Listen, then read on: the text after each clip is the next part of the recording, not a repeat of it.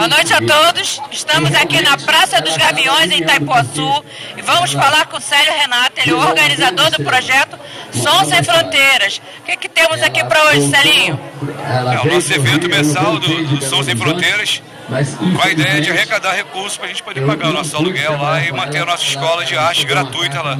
Para criançada, jovens e tendo vagas para pessoas também, maior de idade, não tem problema nenhum. A ideia só é priorizar o pessoal, é, as crianças e jovens, né, adolescentes. Mas tendo vaga, o pessoal está lá.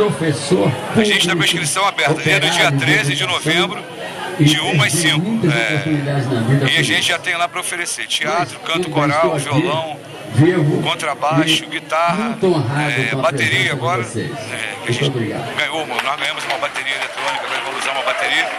Linda história, hein? É, teclado, canto, como eu falei, violão, teoria musical. Posso ler mais um Só lá pouquinho consultar aqui? os horários, Bom, teatro. Depois desse... Vamos junto. depois- Quem que vamos ter aqui hoje? Show de quem? aqui que ele Hoje aqui tá tem? Linda Balbá.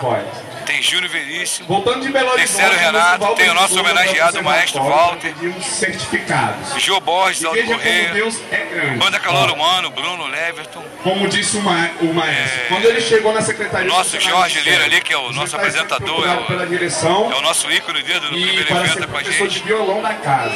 E, não foi e tem mais gente chegando aí, Lina Bastos, achamos que- tamo que junto aí, vamos fazer ainda não tinha experiência. Isso aí, obrigada pela entrevista, tá? Que né? Vera Lúcia da TV Itaipuaçu, Então, imagem de Beto Assim, pra-